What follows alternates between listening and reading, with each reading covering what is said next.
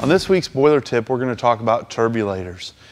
We've got this boiler open for inspection, and one thing that you may notice are these metal tabs sticking out.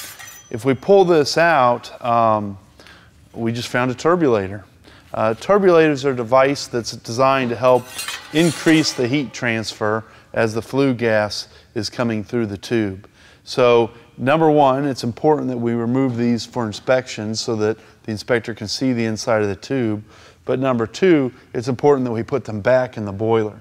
If we leave these out of the boiler, we may see uh, a 25, 50, or even 100 degree temperature rise in the stack. So they're important, make sure to put them back.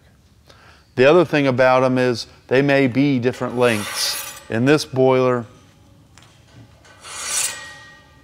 it appears that they're all the same length, but in some boilers they'll be varied in length according to where they are in the tube bank.